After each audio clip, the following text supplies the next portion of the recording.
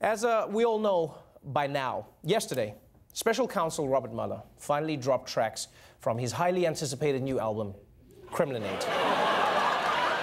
and it was huge news. It was huge news. So obviously the question for Republican leaders was, how do you respond when asked about these charges? Do you defend Trump and risk your integrity, or do you defend the rule of law and risk angering Donald Trump? And I think Senator Chuck Grassley had the best answer, which was to just get gone. Anybody have any questions for Senator Grassley? I have a question about a different Catholic named Paul Manafort. Uh, if you'll take That's why I said this time. Uh, let me just ask you this. Anybody have any questions? Uh, former campaign chair Paul Manafort was indicted today. That really isn't our job. That's not our wheelhouse. But, that's uh, my that's question is, that's the what was the special. No, if you'll if you'll if you'll give me if you, will you. Oh, wow. He just disappears. Pray to God you are in the room with Grassley when there is a fire. Because he will find the exit. He will find it. The only catch is you have to ask him about Manafort. There's no escape. We're all gonna die. Oh, what happened with Manafort? I found a trap door. I found a trap door. And I know some people were like, hey, look, maybe the senator had a bathroom emergency. I'm like, yeah, the dude was his pants, clearly. Now, not everyone yesterday could escape the room like Sneaky Chuck over here, but they did find different ways to deal with the uh, Mueller indictment. For instance, former Trump campaign manager Corey Lewandowski, who basically said that it's the FBI's fault for letting them hire Paul Manafort.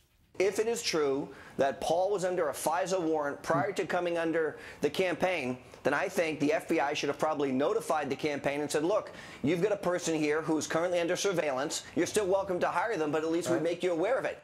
Uh, I think you're confusing the FBI with HR. Like maybe I missed the movie where the FBI busts in shouting, freeze, don't hire that guy.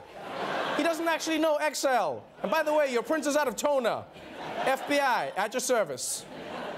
Uh, blaming the, the FBI was a novel path to take, uh, but sometimes the classics are the classics.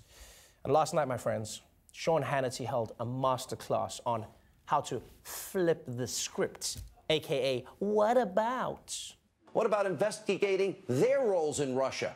Hillary Clinton's State Department, Eric Holder, signed off on the deal a year later. Bill Clinton makes a fortune, doubles his speaking fees, paid with a check from a bank that has a financial interest in Uranium One. The Fusion GPS, Hillary DNC, President Obama funded dossier. Damn, Sean Hannity, look at you, you middle aged white tiger. Wow!